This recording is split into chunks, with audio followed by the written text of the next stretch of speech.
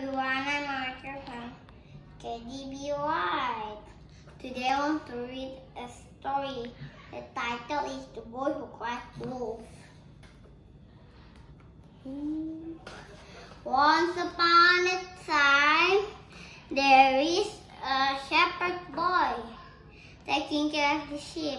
He was so dedicated to his work. Every day he go up to the hill in his sheep, and if he go down the hill his sheep.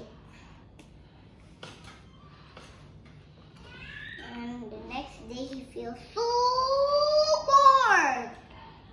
What should I do? I feel so bored. The villagers work together.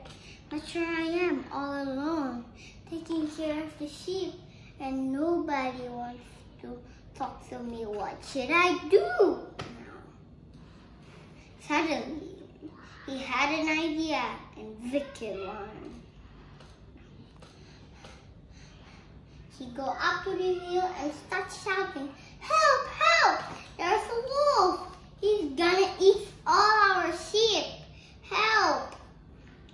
The villagers hear the boy scream, and the villagers run to the the hill and save here. The villagers said, Boy, are you silly? Where is the wolf? Why did you cry out for help? And the villagers were very angry. But left the boy said, Ha ha ha, this was so fun. Next day he, he go to the routine of sheep. Mm, felt him bored again. Let's try the prank again. Ha ha ha ha ha. Go up the hill and start shouting, Help! Help! There's a wolf! He's gonna eat all our sheep. And the villagers hear the voice. Villagers top of the hill and set the sheep. And the villager says, Boy, is now not good. Now you have to pay for this one. When he starts laying down the tree, he saw some sheep running here and there. When he looking close, there's a wolf crouching down the hill.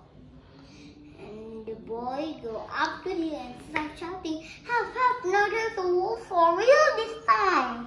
He's gonna eat all our sheep. Please nobody turns up this time. The figure says, let's leave him. I think he might prank him on us. Prank on us. And the boy is still shouting and the boy cried when the wolf killed the sheep and the boy said, Oh, what should I do? I have lost all my sheep. And no, but everyone don't lie because lie is not fruitful.